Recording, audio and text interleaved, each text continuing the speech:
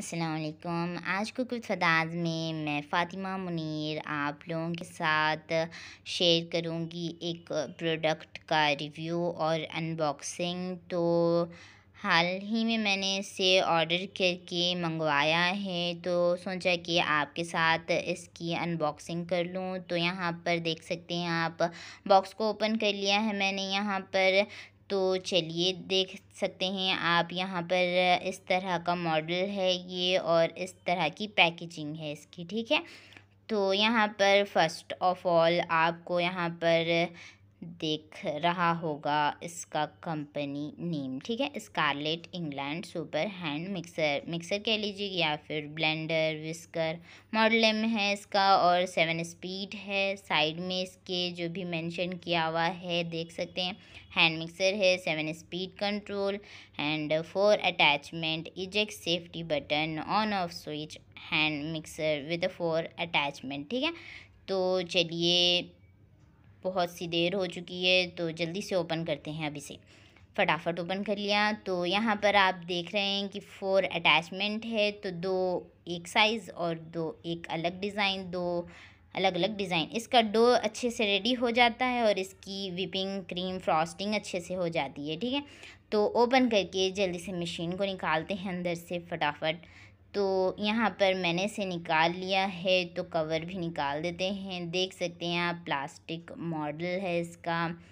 बहुत ही बढ़िया लग रहा है।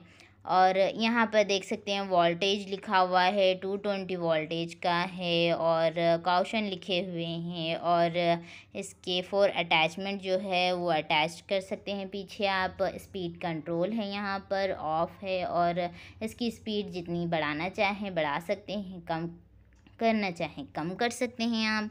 तो हैंडल भी बहुत अच्छा है इसका। तो देख सकते हैं आप, पीछे काउशन लिखे हुए हैं यहाँ पर और आप अटैचमेंट इंसर्ट करने देख सकते हैं यहाँ पर। तो चलिए वायर को खोल लेते हैं। तो यहाँ पर वायर भी इस तरह से पैक हुआ हुआ है और मुझे देखने से लग रहा है कि इसका वायर थोड़ा सा छोटा है, ठीक है? तो चलिए अटैचमेंट लगा कर दिखाती हूँ यहाँ पर मैं। तो इस तरह से इसके अंदर इंसर्ट कर लीजिएगा और इसे ऑन करके आप चेक कर लीजिएगा। तो इससे जो है एग बीट अच्छे से हो जाते हैं और विपिंग क्रीम भी बहुत ही बढ़िया बन जाती है। केक बनाने में बहुत ही हेल्पफुल होता है। उससे भी कहीं ज़्यादा ये फ्रॉस्टिंग बनाने के लिए तो बेस्ट है। तो आप इसे क्रीम बनाने के लिए फ्रॉस्टिंग बनाने के लिए बटर फ्रॉस्टिंग बनाने के लिए यूज़ कर लीजिएगा। तो यहाँ पर इसके साथ एक चीट आई हुई है प्रोडक्ट इंस्ट्रक्शन लिखे हुए हैं जो जो भी चीज़ें इसके अंदर है, वो सब इस पर लिखा हुआ है तो सामने ये सब कुछ है, ठीक है?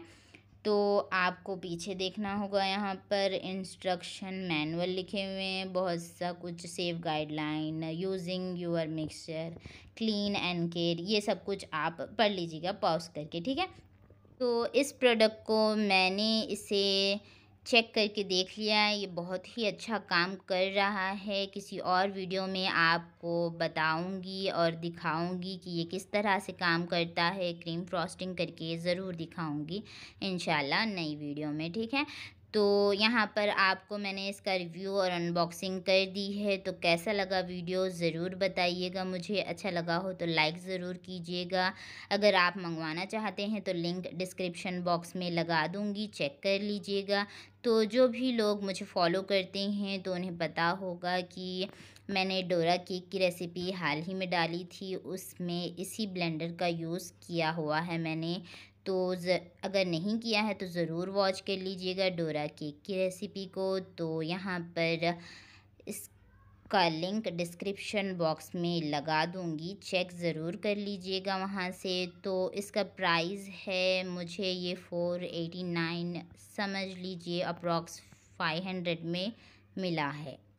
अगर मेरा ये वीडियो आपको थोड़ा सा भी हेल्पफुल लगा हो तो इस वीडियो को लाइक ज़रूर कीजिएगा कुक फतास को सब्सक्राइब ज़रूर कर लीजिएगा। चलती हूँ। अल्लाह हाफ़िज़।